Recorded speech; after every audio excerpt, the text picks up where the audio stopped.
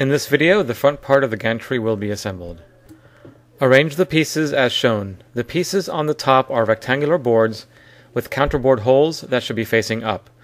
Orient them as shown with the cross dowel pair holes on the top and at the ends of the overall assembly. The pieces in the back should be the piece with the hump on the right, a larger rectangular piece in the middle, and a piece without that hump on the left. Orient the pieces as shown. Use the one and a half screws in the middle horizontal holes. Insert them and find the matching hole in the middle back rectangular piece. Add standard nuts to fasten these two pieces together. Position the left back piece and insert one and a half inch length screws.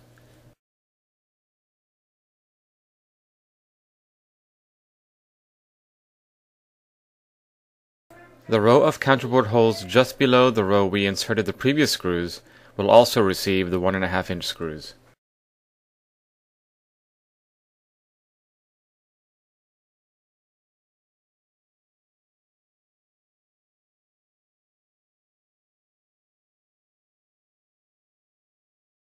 Repeat this process for the board on the right hand side of the assembly.